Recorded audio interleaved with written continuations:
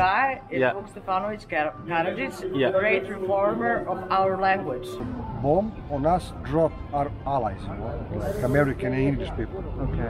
In the early 2022, when the world was still struggling with COVID 19 and very few countries were offering travel visas, I decided to visit a country where I didn't need a visa to travel to.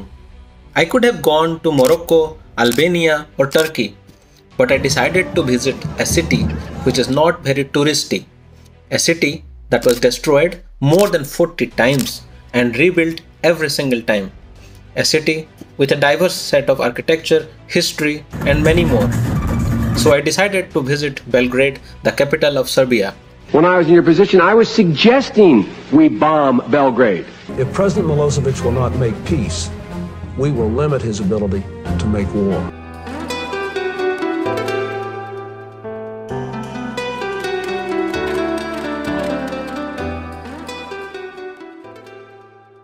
So why did Joe Biden want to bomb Belgrade?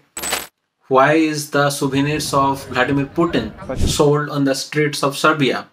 Why is Serbia closer to Russia than European Union? If you are a history lover or if you are someone who is planning to visit Belgrade, then this video is for you. The history of Belgrade goes back to 7000 BC. The region around Danube was divided into several small kingdoms, tribes, and clans during the Bronze Age, Iron Age, and the medieval era. They were involved in several wars, which I don't want to cover in this video, so I will simply fast forward and go to the 12th century. The first unified Serbian state, which kind of gave an identity to the modern day Serbs, was formed in the 12th century under the leadership of Stefan Nemanja. He founded the Nemanjic dynasty. During the Nemanjic dynasty, Serbia entered into a golden period of growth and prosperity for almost 300 years. Stefan Nemanja's third and youngest son, Rastko, became the monk and took the name of Sava. So, Saint Sava is the first Archbishop of Serbia and he is very important to the faith of modern day Serbia and Montenegro.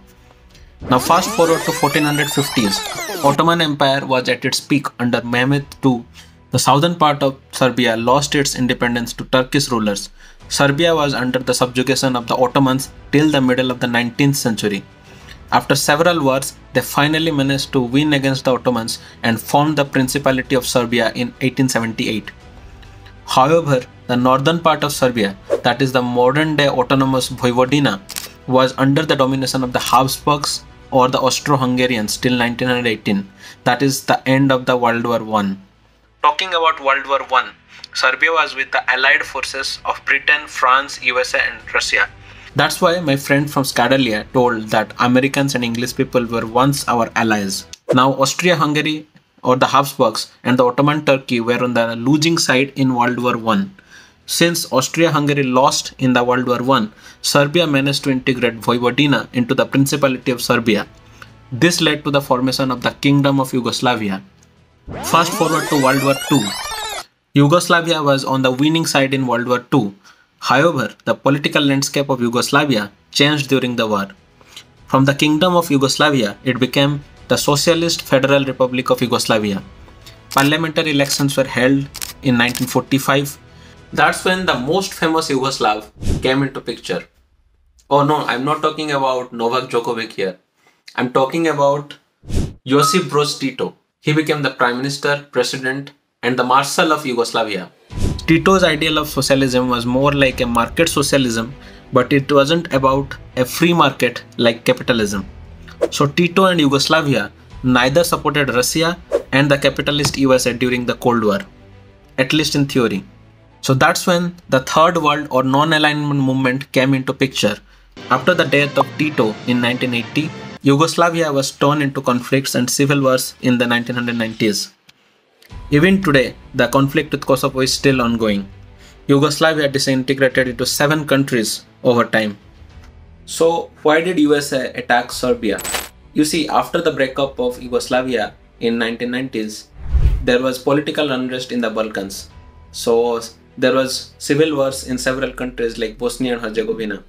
There was also civil war in Kosovo, and several ethnic Albanians were killed by the Serbian military.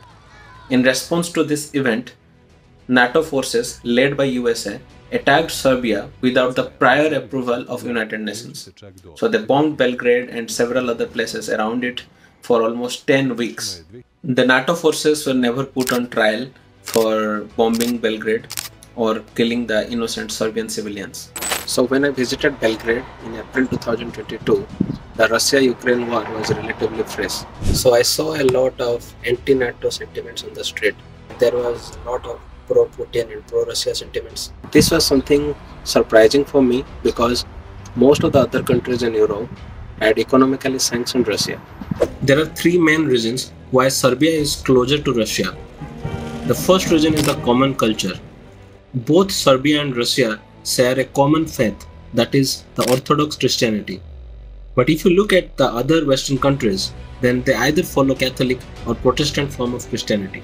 Moreover, both Russian and Serbian languages are Slavic languages.